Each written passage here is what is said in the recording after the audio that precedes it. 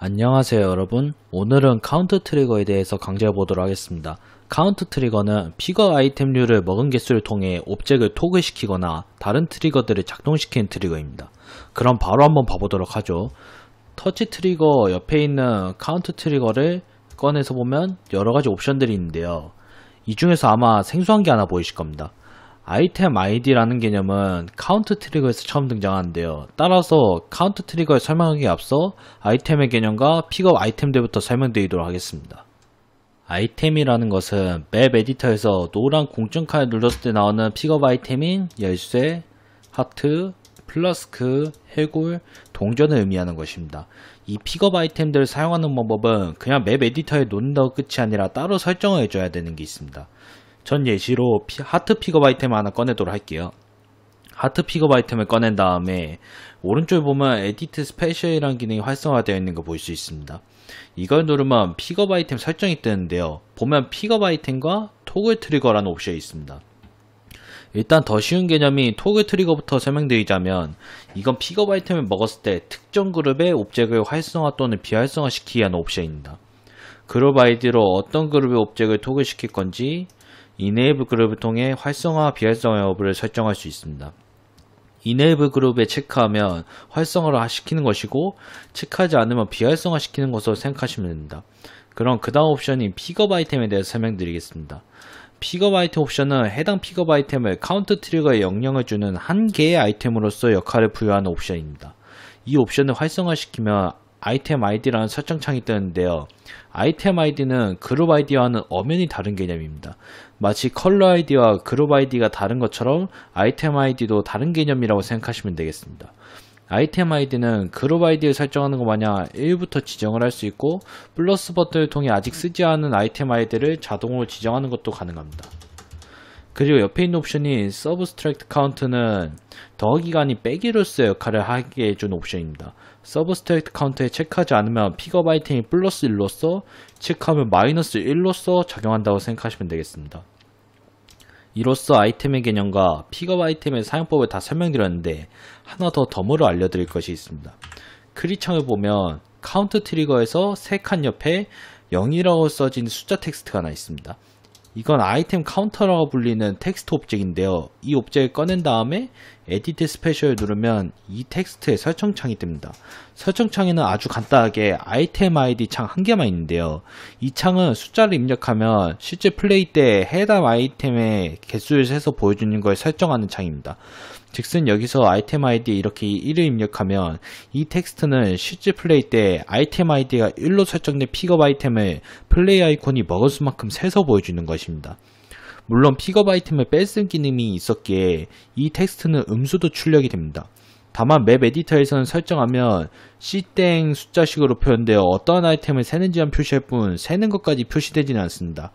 그럼 아이템 카운터까지 설명이 끝났으니 다시 카운트 트리거를 설명하러 돌아가 보도록 하죠.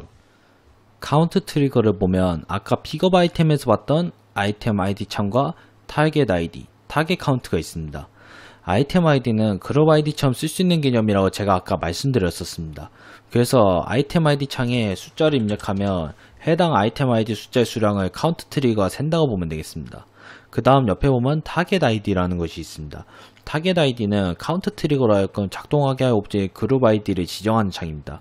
예를 들자면 여기에 숫자 3을 입력하면 카운트 트리거의 그룹 3으로 설정된 옵젝이 작동한다는 뜻이죠. 그리고 왼쪽 밑에 있는 타겟 카운트는 아이템 아이디로 지정된 픽업 아이템의 개수가 몇 개일 때 타겟 아이디로 설정한 그룹의 옵젝을 작동시킬지 설정하는 창입니다. 여기서 헷갈리실 수 있는 부분이 있는데 타겟 아이디와 타겟 카운트의 타겟은 같은 의미가 아니라는 것입니다.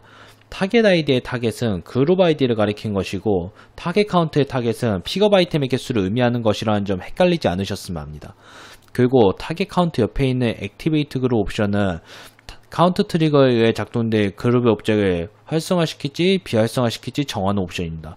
이 옵션을 체크하지 않으면 카운트 트리거의 조건을 달성했을 시 해당 그룹의 옵젝이 작동하는 것이 아닌 비활성화되어 사라지게 됩니다. 만약 활성화를 시킬 생각이라면 Activate 그룹에 체크하면 됩니다. 그럼 마지막으로 오른쪽 아래 Multi Activate 옵션을 설명드리도록 하겠습니다. 원래 카운트 트리거는 한 번만 작동되면 다시 픽업 아이템을 타겟 카운트 수량에 맞춰도 카운트 트리거 발동하지 않습니다. Multi Activate 옵션은 그런 카운트 트리거를 여러 번 발동시킬 수 있게 해준 옵션입니다.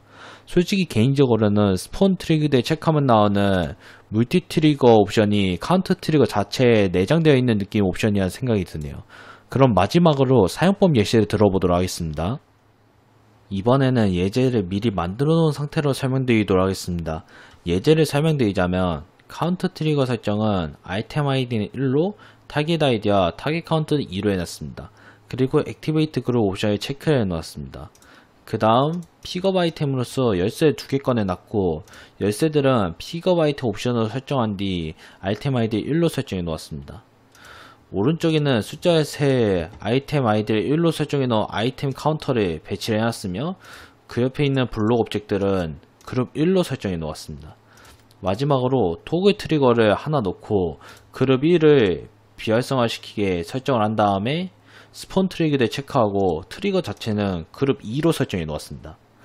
이 예제를 간단하게 설명하자면 열쇠를 두 개 먹게 되면 아이템 아이디가 1로 설정된 숫자가 0에서 2로 변하게 됩니다. 그러면 카운트 트리거의 아이템 아이디와 타겟 카운트 조건에 맞았으므로 타겟 아이디인 그룹 아이디 2로 설정된 옵젝이 활성화되게 됩니다. 그룹 아이디 2로 설정된 옵젝은 토글 트리거이므로 토글 트리거 발동하게 되면 그룹 1로 설정된 옵젝인 블록 옵젝들이 사라지게 됩니다. 이런 원리라고 생각하면 됩니다. 제가 직접 한번 보여드릴게요. 보이다시피 열쇠 두 개 더 먹게 되면 블록이 사라지고 열쇠를 한 개라도 먹지 않으면 블록이 사라지지 않게 됩니다. 이것으로 사용법 예시까지 다 보여드렸는데요. 여기서 토글 트리거 내에 있는 Spawn 트리거 옵션을 체크한 것을 보고 의아하신 분들도 계실 수 있습니다.